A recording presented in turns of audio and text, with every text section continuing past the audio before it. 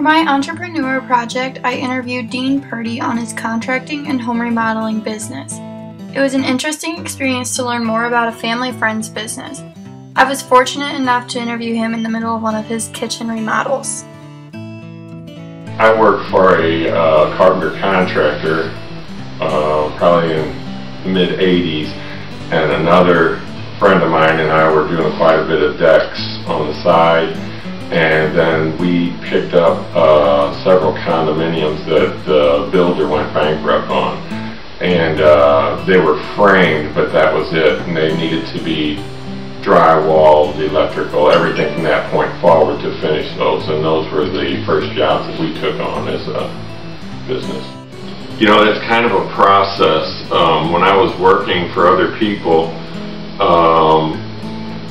worked around several different, say, electricians or plumbers.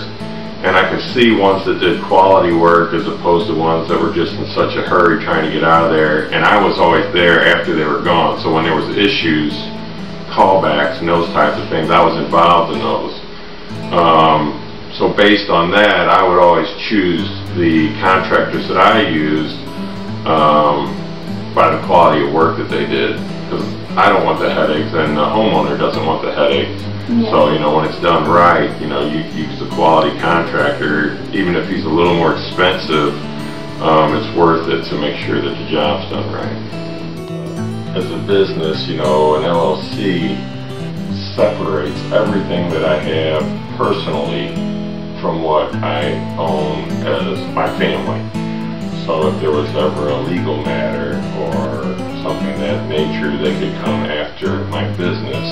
its assets, but not my personal assets, my home vehicles. For me, most of the startup capital um, I didn't have to go buy a lot of, I didn't have to have a big initial investment because I had accumulated all my tools, my vehicles, as I was working for someone else. Um, so for us, we really didn't have to have a big lump sum. If you were not a carpenter at all and you were going into this and you had to go buy a vehicle with all of the tools, you know, then you would have to come up with 20, 30,000 depending on what you were buying. And I fortunately didn't have to do that because I had been in it for a while and investing all along. So I guess I didn't have to have that big chunk of money to start. You know, uh, it was a lot of years probably just uh, because this field um, fluctuates so much. You know, there's still years, just a couple years ago, when the economy, all the housing went away, you know, we lost. My probably my pay was cut in about half. So I, in this trade, uh, your your income fluctuates constantly with the economy. So some years you'll make more, some years you make less. Uh, my wife worked, which really helped to stabilize the income that we did make. So I mean, you know, it took several years, and I mean, there's still years that I can go and not make much money. You know, we had some air, um, times where we were very slow in business early on. Um, we would tackle a lot of jobs from putting in windows to siding to roofing, um, things that we didn't necessarily specialize in. So because we don't do those every day, we aren't as fast. Um, so we don't make as much money on those, but you have to do those jobs to keep yourself afloat so you have some income coming in and those were difficult. You can see here today, my it, it fluctuates quite a bit because originally we weren't going to receive cabinets till tomorrow and they called and said they were ready today. So, um, you know, typically when I get up in the morning, I'll check emails, I'll reply to some that I can, um, and then I'll head out to the job site. Yesterday we had the electrician here uh, Monday we came and we tore all the cabinets out, cut the drywall out of the walls, and um, so the electrician could do all his wiring. And now uh, cabinets are all being delivered today, so we'll want to get the drywall covered up, uh, put a coat of drywall mud on there, uh, so that tomorrow we can start setting these cabinets. We have templating coming for granite on Monday. And you know, every job is a little different. You know, we've got a basement to start framing. Um, so there we're going to have to deliver lumber and we'll be doing all the framework. Um, pretty much depends on the job, I guess. Depending on the size of the project or holes in the project, you know, it could be five projects, it could be one, depending on the size of it. To see the before compared to the after finish, that's the most gratifying to me. And then the uh, homeowner's response, you know, to be able to, uh, I guess, build their dream or, you know, whatever their uh, goal was, that to make that happen, that's the most rewarding for me. And risks that we've taken sometimes are financial, you know, uh, hiring subcontractors, for instance, and getting what you're paying for. Um, there's always safety risk, um, especially um, when I'm in jobs like this, in interior work, flat on the floor, you know, your risk of getting injured are marginally less than if I'm on a roof or something outside, you know, you're in the mud, you're carrying heavy beams or that type of thing. So there's always a risk of physical injury. Um, and over the years I've kind of learned how to avoid the really high risk areas there.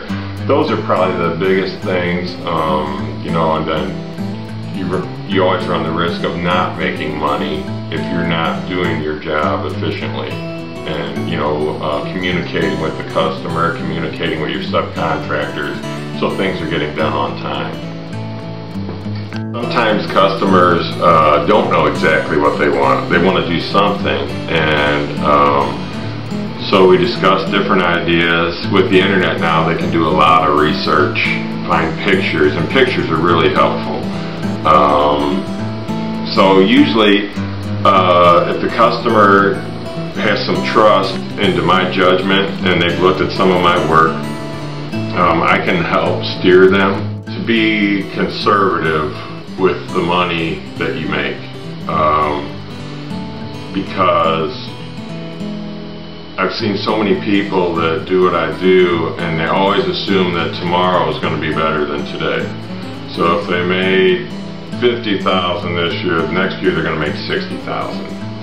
And so many of those guys, when this recent economy, three years, two years ago when the economy went south, those guys are no longer in business because they've basically spent everything that they've made as they get it. So I think to um, be very conservative with the money that you make and always, you know, have some money put away for when it gets bad.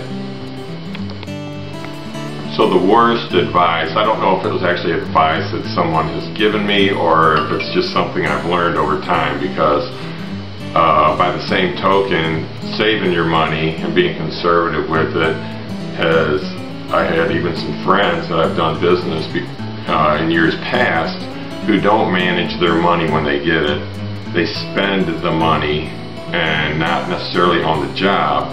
And then when it comes time to paying me for the work that I've done or paying for materials, there's no money left. And because of that, I've been stung a few times and not been paid. And on those situations, uh, you don't forget that. And I think that you learn pretty quick uh, to avoid doing that. After having previous experience working with contractors, Mr. Purdy began his own LLC by partnering up with the most efficient workers he could find and finishing projects his old employer could not due to bankruptcy. Mr. Purdy was fortunate when it came to acquiring a startup capital, since he was supplied with his own business equipment previously. He didn't need any initial investment since he had been investing all along. It took Mr. Purdy a few years to begin making a profit with his type of work in the state of economy. Mr. Purdy faces many financial and safety risks, but his business succeeds mostly by word of mouth. He enjoys the freedom of time an entrepreneur has, although he has had to single-handedly deal with many difficult customers. His workdays aren't the same each and every day and depend on the, his trust of others to do their jobs accordingly.